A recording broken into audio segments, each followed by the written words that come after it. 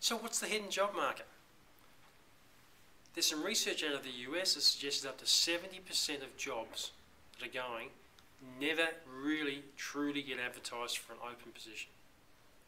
I've no reason to believe it's much different in Australia.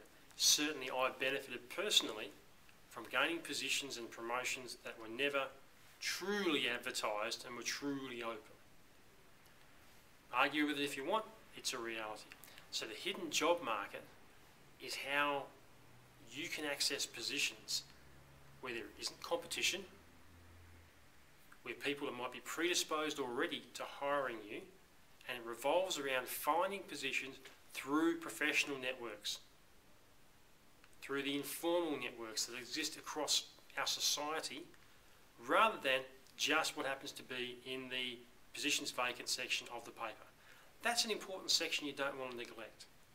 What you really want to do is build your networks, your associations, your memberships of areas so you can access the hidden job market that can come about from someone having a sudden need, talking to one of their friends who happens to be in your network, the friend makes the connection that you and their friend should be talking, and away you are.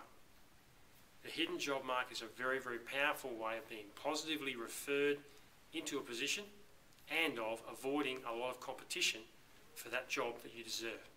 Hi, I'm Jason Furness, and I've just finished recording a series of 23 videos with secrets about how to go about getting the job you deserve, how the industry works, how to present yourself for interview.